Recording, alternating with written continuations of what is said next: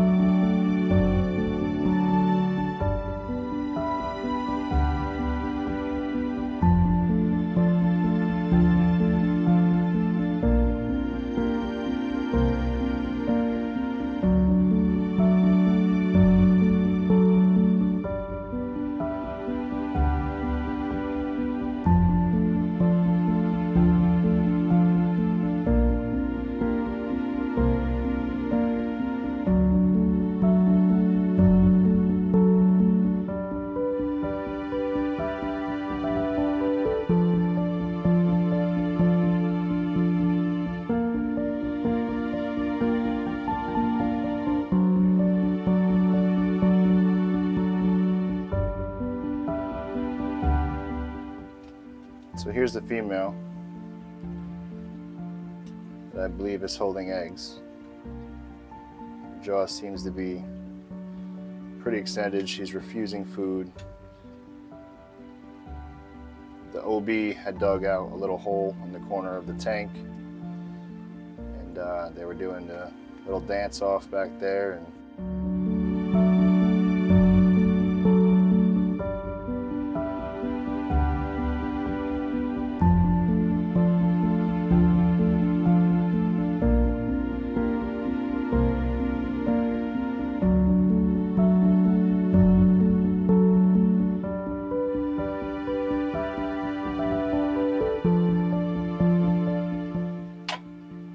like that is really what was going on. So, I'm gonna try to strip these eggs. I've never done this before. I've watched a lot of videos on it, and uh, we're gonna hope for the best. I also purchased the incubator here off of Amazon. It's $10 for the whole kit. It just came in the mail today, so we're gonna get this thing together, get it set up, and um, hopefully strip some eggs and possibly has some little baby cichlid fry around here. I guess I should do a little unboxing of this thing. Not sure if there's a brand or not. It just says uh, cichlid fish egg incubator with a whole bunch of Chinese lettering that I could uh, never read if I had to. But um, it's the D50 millimeter. That's about all the information. Let's get it open.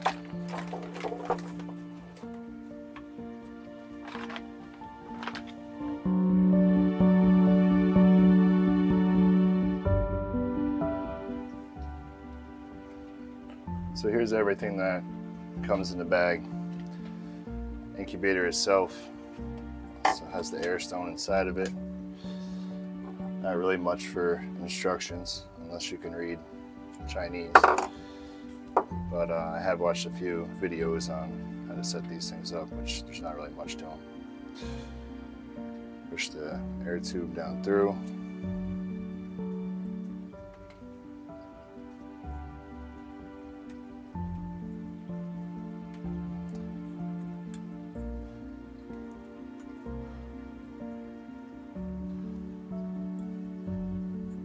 You want to get the air stone right at the bottom this tube here, kind of right at the bottom here. There is a little piece of plastic in there so the fry can't get out. Same at the bottom. Some foam sponge at the bottom as well to pull the water up through.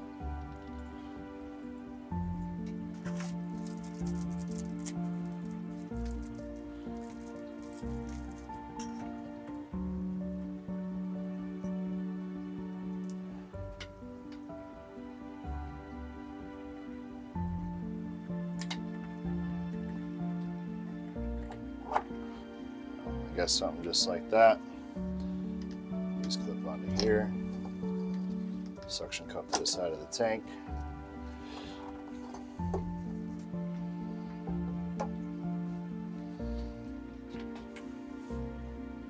Something like that.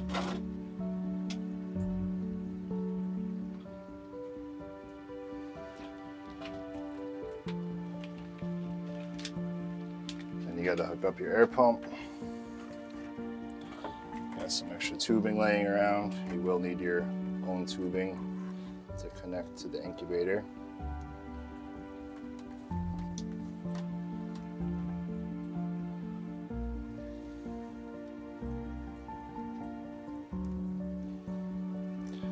And that's about it. So I'm gonna get set up to uh, strip the fry and see if I can get my wife to hold the camera here for me while I do it. So I got it in a tank. I'm gonna plug it in just to make sure everything works properly. And we'll take it back out and then I'll get set up to strip the fry. I guess that's gonna do it. Looks a little tall for a 10 gallon tank. I, I could put them in a display tank, but I think this is gonna work just fine.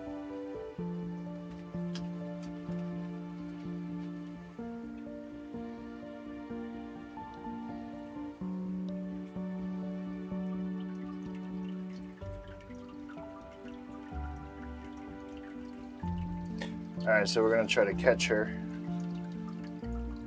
Let's see if we can make this happen.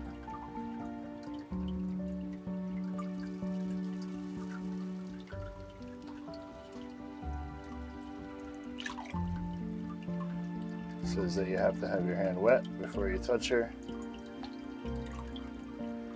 Which I don't see how that's an option anyway.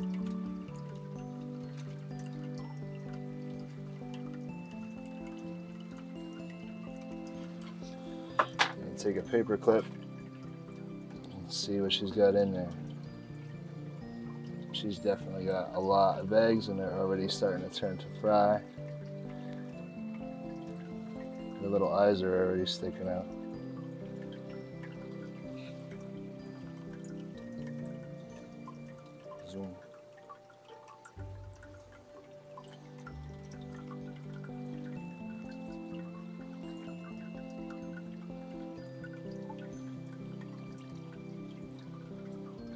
See that there's still some more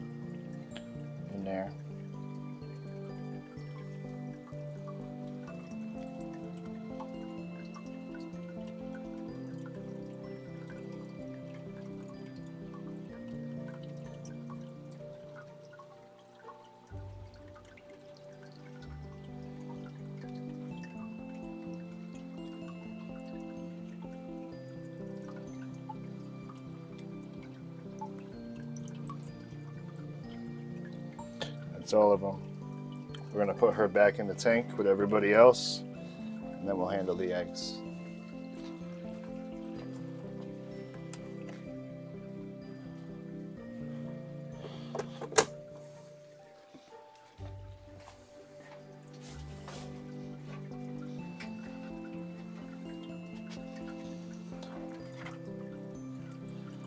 So you take the little pipette, whatever it's called,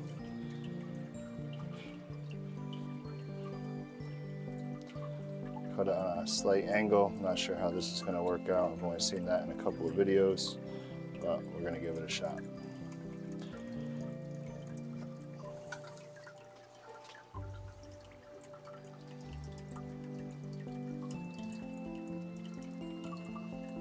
That is not working out very well.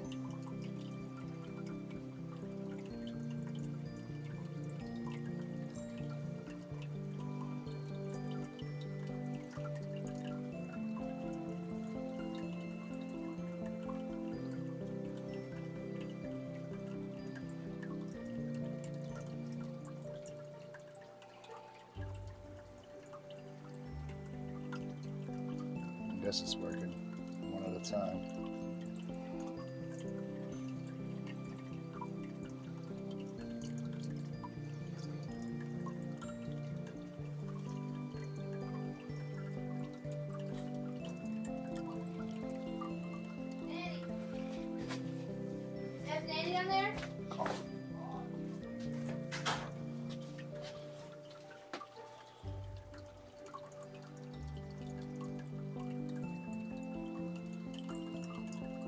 Not going to make you watch this whole process, but as you can see, there's quite a few eggs in there.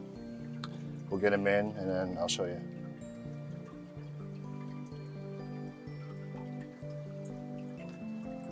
So I didn't count how many eggs we had, but they're already starting to hatch. Little eyes are poking out. So we're gonna put this thing back together and see if we can make this work. Like I said, I've never used one of these before. I heard just a light tumble is best.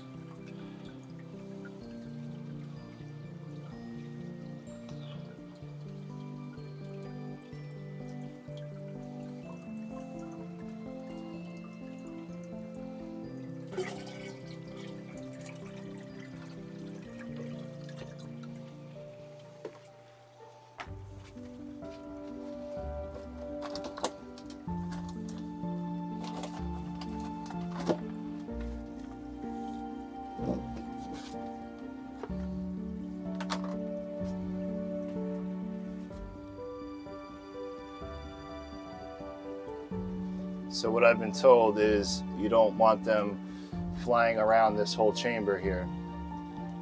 You just want them to be tousled just a little bit.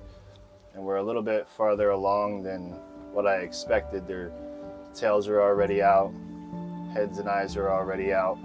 So also what I've heard is we should have some full fish fry in about seven to 10 days and we can start getting them to eat some real food.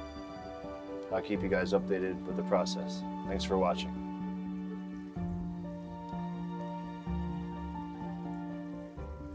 So here she is back in her tank. I've already dropped a couple pellets in there to see if she would eat, and she did.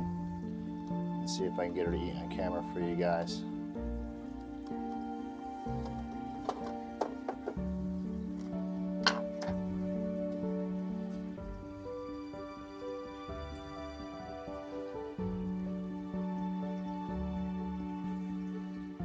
Crazy how they don't eat for so long. And as soon as you strip them out, they start again.